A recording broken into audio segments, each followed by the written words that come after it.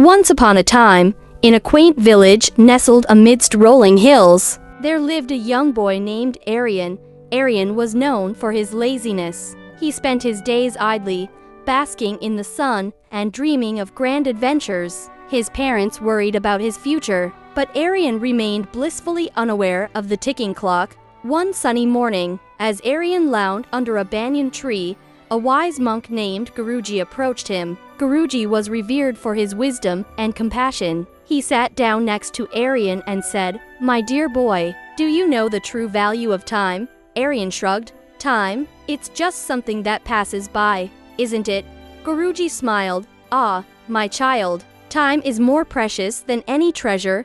Listen carefully. He began to tell Arion a story a story that would change Arion's life forever. Once, in a distant kingdom, there lived a wise king named Raja Vikram. One day, he summoned his ministers and announced, I have hidden a chest of gold coins in the forest. Whoever finds it before sunset may keep it. Word spread like wildfire, and soon everyone in the kingdom set off in search of the treasure. Among them was Ravi, Arion's classmate.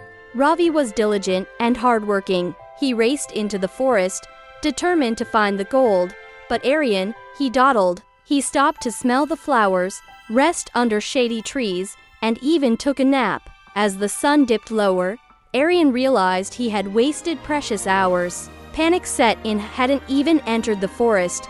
Meanwhile, Ravi worked tirelessly. He followed clues, crossed rivers, and climbed hills. Just as the sun touched the horizon, Ravi stumbled upon the chest of gold coins. His joy knew no bounds. Arion arrived too late. Crestfallen, he had squandered his chance. Lost in idle pursuits, Ravi, on the other hand, became wealthy overnight. The king praised his diligence, and the entire kingdom admired his perseverance. Guruji paused, looking into Arion's eyes. Arion, life is like that treasure hunt. Each moment is a coin a chance to create something meaningful. Don't waste it on laziness or procrastination. Arion's heart swelled with regret. But Guruji, can I change? Guruji nodded. Of course, start now. Use your time wisely.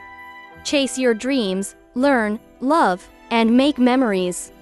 Remember, the clock never stops ticking. From that day on, Arion transformed. He studied harder, helped his parents, and cherished every sunrise. He realized that time wasn't an enemy, it was a gift, and he vowed never to waste it again. And so, dear reader, let us learn from Arion's journey. Time waits for no one, seize each moment, for within it lies the magic of life.